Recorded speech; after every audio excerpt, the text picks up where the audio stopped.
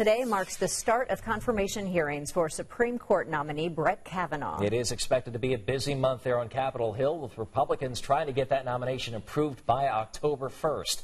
Our Matt McCutcheon is following this story for us this morning. And Matt, there's an issue over some records here. What's going on? Yeah, good morning to you. That's just one topic making headlines in this story here this morning. This is a live look right now at the Capitol in Washington, D.C., where those hearings are set to begin in just a little bit more than three hours.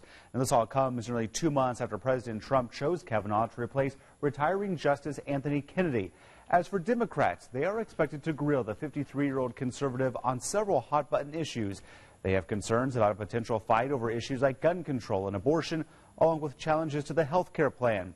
They also take issue with the Trump administration withholding records on Kavanaugh's time as a lawyer in the Bush White House. The administration is hiding 100,000 pages of his records so that not only can the Senate not see it, the American people can't see it.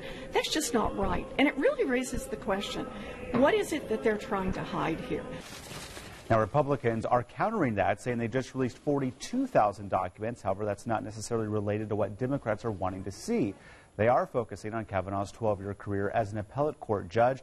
Republicans are generally in favor of confirming Kavanaugh, which could really shift the Supreme Court's power balance to the right. So, a lot here to watch in the day ahead. All right, so get started today. How long are the hearings expected to last? Should start today about 9:30 in D.C. It's expected to take three to four days, which means by Friday everything could be in place. Of course, we'll have to wait and see if there are any surprises that could brew along the sure. way. Sure. A lot of eyes on, of course, Joe Donnelly to see how he'll vote on this confirmation hearing. Matt, thank you very much for breaking it down for us. Well,